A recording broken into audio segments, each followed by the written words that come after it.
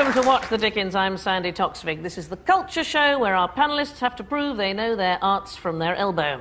Uh, with Tim Brooke Taylor tonight is a comedian who's well known for appearing in top comedy quiz shows. Well, listen, make a nice change for you then. Uh, please welcome Stephen K. Amos.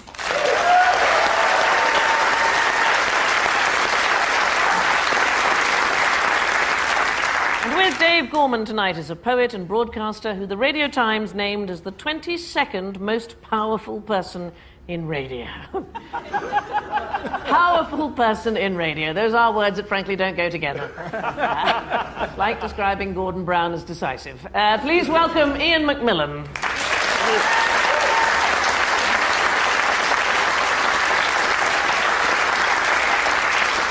Our first round is called the name game. Okay, I'm going to ask you a question, and you have to give me as many answers as you can think of. So, Tim and Stephen, I'm going to start with you. Can you name the seven deadly sins as featured in the film Seven? I've done them all, I know that. You naughty boy. I thought you, I thought you were one of the goodies. Yes, I did. um, is this greed, the- mendacity? No. Uh, I like mendacity. No, I think that's in fact a Puerto Rican band. But um, greed is very good. Is it uh, dopey, sleepy? Gluttony. Well, do you know, I'm going to give you sleepy for sloth. So, Oh. see, uh, yes, I think that's. See how much I like them, boys? You've got a lot. reading, Yes. the, reading the Daily Mail, possibly? Yes, that's certainly that's uh, that's in there. Uh, we've got greed and sleuth so far. Envy, gluttony, uh, sexy. Oh, gluttony, you've got Oh, yes. oh, what did you say? Envy. Envy is good. Yeah. Uh, what about any sexual ones that possible? Um, Sexual. Masturbation. oh, can we say that? I, if it's on here, I can't read it. Um,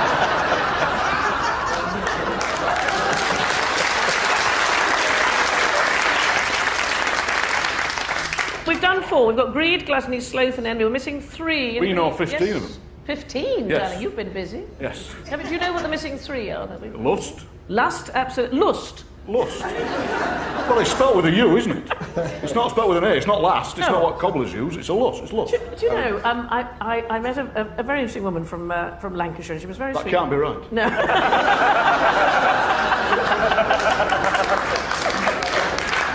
she was very sweet. She was challenged in the brain department, Mm-hmm. and um, and she said to me, Sunday, it is book, isn't it?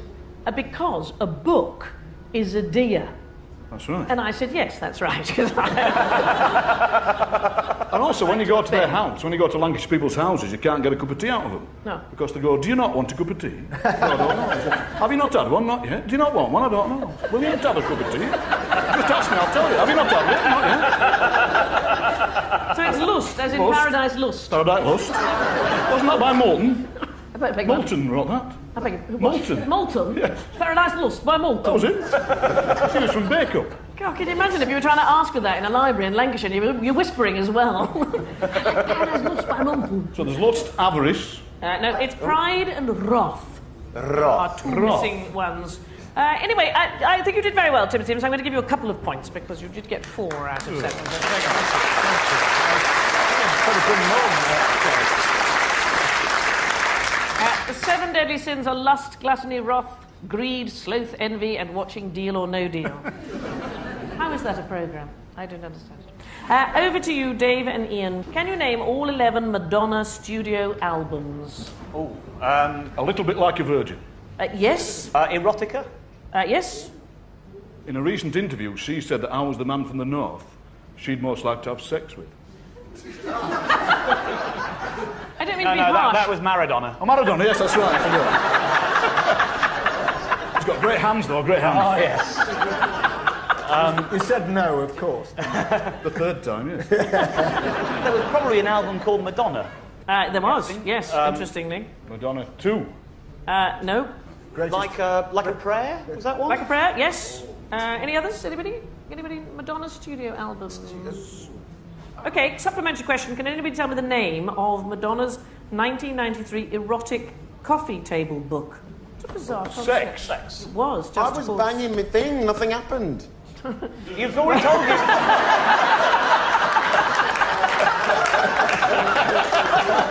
Thank goodness we've got a table in front of us. You know, there are some people, Stephen, who treat this show like a therapy session, and I'm. What does the K stand for? Are there many other Stephen Amoses that you needed to put the K in the middle? What is the K? it- well, it actually, actually, it stands for Kwabanala Selele Omasema Akoyise. Um, I can't think why you shortened it. It, it just scans quite nicely. Stephen K. Amos. Stephen Amos sounds quite northern. A bit it does, kind of, Stephen "Hey, Amos." what you stolen? Uh, well, you did, you did get an extra point for that, uh, and you've got uh, two points for getting four out of the 11 albums. There's other ones, True Blue. There's one just called Music, which I think it should have been done under the Trades Description Act, really. That's it's, it's ridiculous.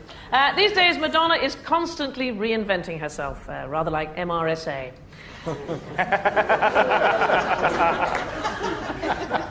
Back to you. I actually wanted her to adopt me at one stage. Imagine how cool that would be. I'd never work again. Uh, our next round is called Losing the Plot. Now, what you to do is name the book, film, song, or musical from the much reduced plot that I'm going to give you. It's a buzzing round, so fingers on your buzzers. Okay, the first one is a film. An old biddy can't drive. Her son, yes. Darling Miss Daisy. Driving Miss Daisy! Actually, uh, Stephen, you'll like this description. An old biddy can't drive. Her son gets her a bloke to drive her around. He's black, but they get on anyway. Another film. Two out of work actors have a drink. They go on holiday, have a drink. They drink some more, and one of them gets a job. Yes. Withnail and I. Withnail and I, the entire plot. Um, All right, this one is a, we're getting a bit more highbrow now. This is a book. A wizard and his daughter live on an island. Actually, I don't think this counts as a book. I think this is a, yes, Oh, sorry, you said it first. Is Tempest? it is The Tempest. I think calling it a book was a little bit Yes. confusing there. Uh, it's a bit of more of a play, really. Uh, a wizard and his daughter live on an island. They have ghosts. For, they have a ghost for friends. A duke and his mates get shipwrecked. The wizard messes with their minds. Turns out the wizard is the duke's brother. And if you've not seen it, honestly, that really does cover it. That'll Aren't, they, aren't the daughters both named after venereal diseases in that? Are they? Isn't it gonorrhea and... Yes. Oh, and Candida or something. Yes, is I it? mean, it really is. It's like, it's really peculiarly...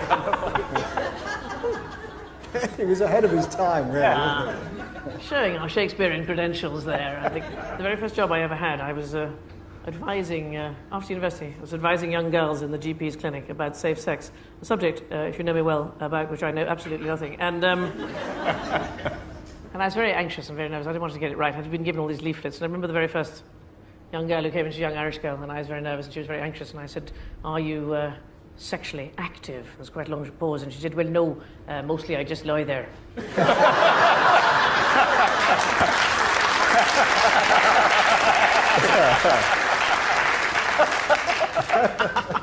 I know her. Uh, okay, this is a musical. Oh dear. Boy meets girl on summer holidays. Boy. Some holiday. summer holiday, no. Were you going to say that didn't work? Yes. Uh, Grease. Grease, absolutely right. Boy meets girl on the summer holidays. Boy dumps girl. Boy goes joyriding. Girl goes gooey.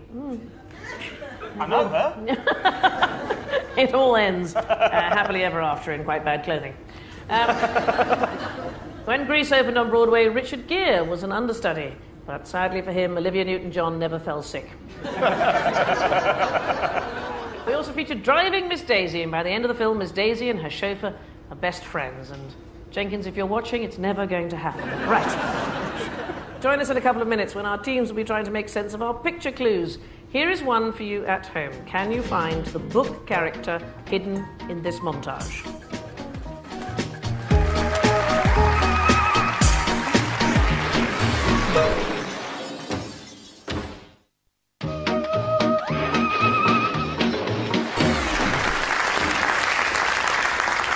Welcome back to What the Dickens. Before the break, I asked if you could find the book character hidden in our picture montage. Any luck? Go on. It's Yes. Winston Smith from 1984. It is absolutely right. Winston Smith from 1984.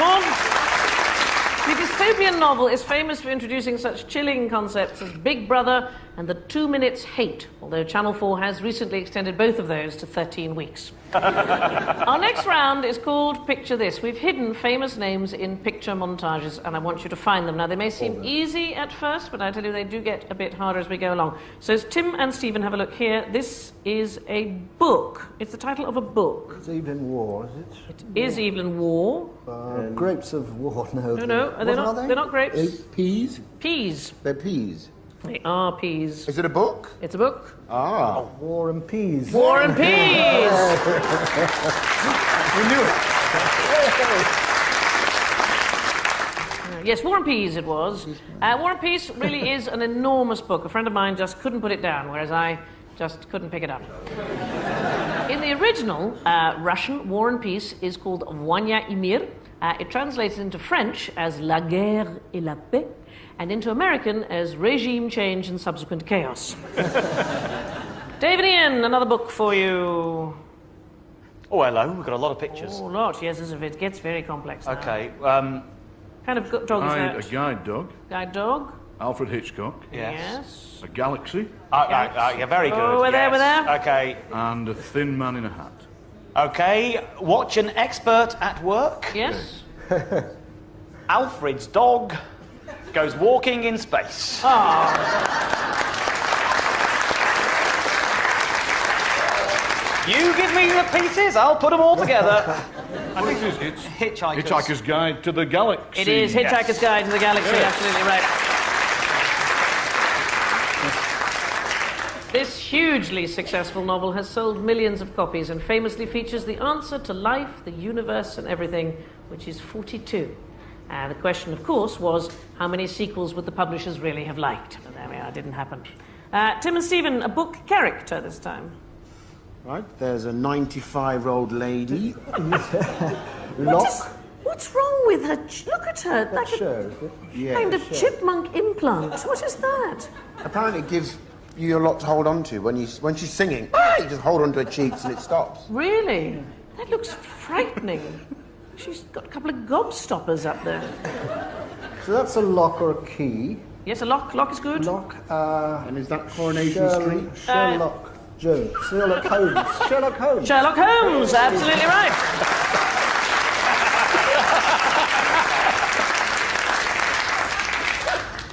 Very. Sherlock Holmes was an eccentric character who often forgot to eat, was a heavy smoker, a cocaine addict, and a competent musician. Uh, all of which suggests that Pete Doherty might make a decent detective. Dave and Ian, let's move on with the game. Uh, this is a film character. What have we got here? Ah, that's a ball of some sort. A ball? Ball Yes. Snake Lake. That's it. It's the old film character, Bull Yes. Snake Lake. Ball snake. Uh, the mountains, where these, these are, I can tell you mountains in North America. Rockies. Rockies. Rockies. Rockies Balboa. Rocky, Rocky Balboa. Balboa. Balboa. Very good. In the first Rocky movie made in 1976, Sylvester Stallone famously runs up a set of steps in a hooded sweatshirt. And in the final movie, 30 years later, he goes up the same set of steps, uh, but this time in a Stannah stairlift. Uh, the next round is called Balance the Books. The questions have a financial feel, and to help you out, we're going to give you a choice, okay, of three answers. So, Tim and Stephen. Which of these musicals was the most expensive to produce? Starlight Express, Lord of the Rings, or Wicked? Oh, It can't be Starlight Express because that's one with uh, the roller skates. yeah. Well, it cost a lot, Yeah, right? It was quite a long time ago, too. Yeah, the it 80s. been- yes. We all had roller skates. Yes, we did. Well, you're a posh boy, you probably had a car. Yes, I had somebody that rode them for me, the roller skates. Ah, bless. Um, Lord of the Rings' is recent flop, was it? Did it come off? And I think that must be very expensive. It has recently been cancelled. Wicked is the one about the, the witches, isn't it? The witches in. Is that the Witches of Eastwick? Uh, no, it's the one about uh, the Wizard of Oz. Is it? Yes. Very good it is too. Why would you be interested in about the witches from the Wizard of Oz? Oh, you have to see it. It's very, very fine. It's, it's brilliant, actually. It's a wonderful music. Does it look very expensive? And your final answer, gentlemen, please. I th- it's got to, but, but bearing in mind that the Lord of the Rings, the, the movie, was filmed in New Zealand, and they had to get all these little creatures, uh, and they had to replicate that on the London stage. I reckon it's B. Replicate New Zealand in London Stage. Yeah, it's pretty good. very I'll go for. B as well. It's not a very big country. B is absolutely right. It is the Lord of the Rings.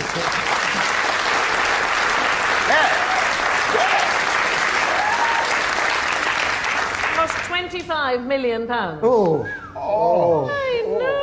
Very similar to this production. Probably.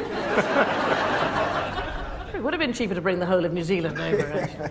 Uh, Starlight Express is the most popular musical in Germany. Well, there's something about the supporting cast in Cabaret and The Sound of Music that makes them shuffle uncomfortably in their seats. Dave and Ian, which of these music videos was the most expensive to produce? Was it Black or White? Michael Jackson? Was it Heartbreaker, Mariah Carey? Or Die Another Day, Madonna? Most expensive video to produce. Black or White, Michael Jackson is that's one of his later later works where he, he's basically singing. It doesn't it doesn't matter whether whether you're black or white, and he does seem to be a man who does think it matters whether you're black Yeah, or white does, yeah. because he's made himself white. Yeah, well, there is that. Yeah. Hey, well, try getting a taxi in London. I don't think Michael Jackson has to worry about that. so he is just a pale imitation of his former self. Um, I think it must be the Madonna one. Because when is that one from? That's quite recently. Because that, isn't that a James Bond film? Uh, yes, What's it the is. Frank yes, Bond film, yes, yeah. Die yes. Another Day. What do you think? Can I Heartbreaker? push you on this one? I, I, I, I was going to go black and white, but I'm going to bow to, to the Well, knowledge just, just, of that, my just that colleague. black and white is an older one where it would have cost a lot of money in those days, Right. but would now be not quite as expensive in these days. Yes, so which one are you going for? We're going to go for what do you think, Dave? Uh, uh, no, I'm going to go for what you think, which is Die Another Day. Dave thinks Die Another Day. It is Die Another Day. It was! How we got there at all? Actually, do you know that um, Mariah Carey was signed to Virgin Records, right? And they, they, she had some what they call disappointing releases. And I'm sure you boys are familiar with those. And um,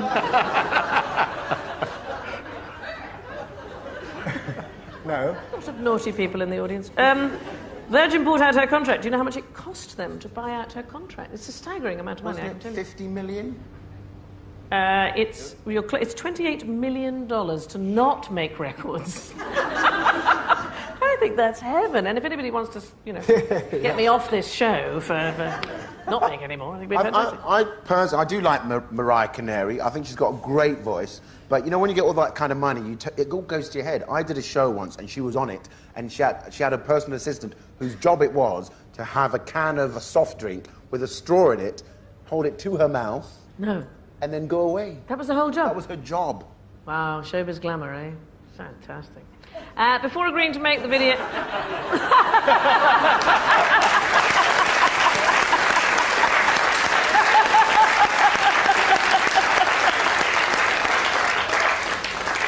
I have a horrible feeling, Dave, I'm on the turn. oh my God, how fantastic, but I've nowhere to put it. You'll have to take it. Come on, staff. Uh, what was the answer? I've forgotten now. The exact- Do you know, I've actually gone flush, which never happens. Uh, well, obviously. Not in the studio. I Uh, really do have those magic powers. I can't believe You it. are magnetic. Uh, the answer was die, die another day. Uh, before agreeing to make the video, Madonna insisted it had to be filmed by a top director, much to Guy Ritchie's disappointment. Our final round is called What's My Line? I'll begin a famous line and you have to finish it, okay? So the lines can be from books, plays, films, or songs. And I can tell you, you two, Dave and Ian, you're just behind at the moment. Quite a lot of pressure on. I brought you the water. Nevertheless, Yes, I- look at that yes. pathetic face. nevertheless, I saw him spitting it first. I'm, your, your answers have just not been quite up to scratch, okay? So, this line is from a film. Please, can you try and finish it? Have you ever danced with the devil? Yes. Mr. Bush.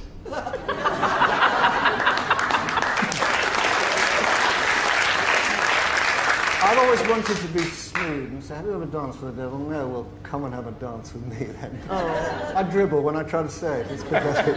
You're so sweet. The people, people, oh. oh, 10 points. Yeah, no. Yeah, but I give you points for the George Bush. I think that's very good. Have you, have you ever danced with the devil? No, but I've kissed an imp. I don't think you should tell people about our personal time. uh, have you ever danced with the devil? Anybody know the actual answer? Bunk, but not dance with the devil. No, Stephen? Um, have done- No, it's in the pale moonlight. It's from Batman. Uh, okay. From a film, we came, we saw. Yes? We shocked, we awed, we said we conquered, but really we just settled down for an interminable length of time and it's all got a bit out of hand.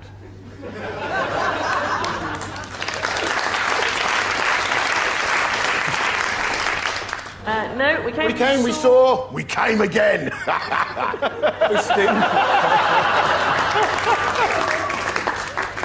I've always like the variation on the Latin, um, which is uh, I like Veni Vidi Velcro. We came, we saw, we stuck around. Um, We conquered. we came, we saw, we kicked its ass. It's Ghostbusters. Sandi, they were hard. I'm sorry, I'll make it easier for you now. Uh, these are from books. Can you colour in the next bit?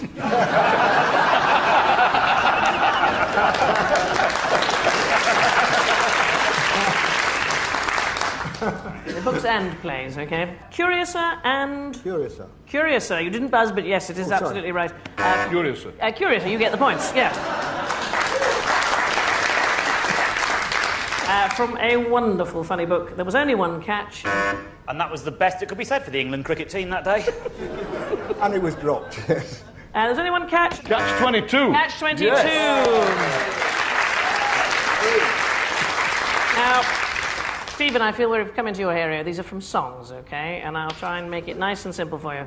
Uh, here's the beginning of the song. If you want to know if he loves you so, Hire a private detective. the only way forward. If you want to know he loves you so, Check his computer records. do you know how to stop, just out of interest for women, do you know how to stop men uh, reading his secret emails and computers? No? Yeah, you put it in a folder marked instructions.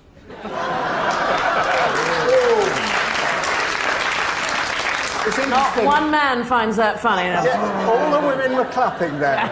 Oh, like sheep, like sheep. Yeah, and Yeah. who installed the computer in the first place? Yeah, yeah. Not having read the instructions, obviously. If you want to know if he loves you so. Yes? It's in his kiss. It's in his kiss! The Shoop Shoop song. Um, uh, wake up, Maggie. I think I've got something to say to you. Yes? It's been a while. I know you're not in power anymore, but it's about this poll tax thing. and on the second thoughts, don't wake up. Wake up, Maggie. I think I've got something to say to you. I'm sleeping with your sister. this isn't the time to make the announcement. Give me, say to you, and uh, da, da, da, da, da. It's late September, Yes, and and I really should be getting back to school. Maggie May, Rod Stewart. Well, Ian and Dave, you stormed ahead in that did. round. That was fantastic, and therefore I can tell you that Tim and Stephen are this week's winners.